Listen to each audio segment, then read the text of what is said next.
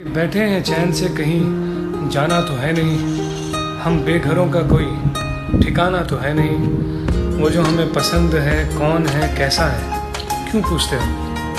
हमने बताना तो है नहीं।